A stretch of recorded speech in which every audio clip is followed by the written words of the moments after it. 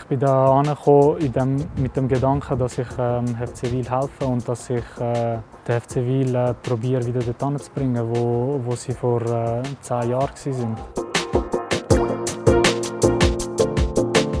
Granit Lekay hat ja eine Vergangenheit hier beim FC Wil und äh, ist neben Marco Muslim eine Integrationsfigur für die Fans, für die Mannschaft.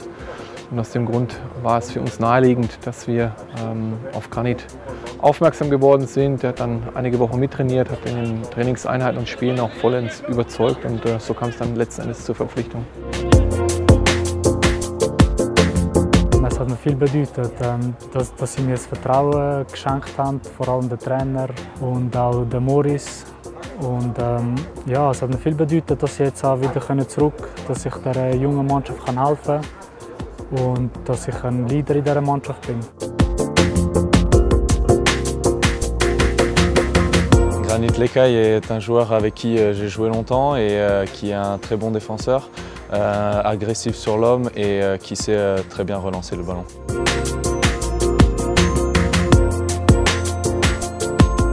Granit bringt für die Position des Innen-, aber auch Außenverteidigers viele Faktoren mit, die im, Spiel notwendig sind. Er ist kopfballstark, er hat eine gute Spieleröffnung, er ist gut im 1 gegen 1 und ähm, er hat ein gutes Spielverständnis und ähm, das zeichnet ihn einfach aus und das macht ihn auch stark.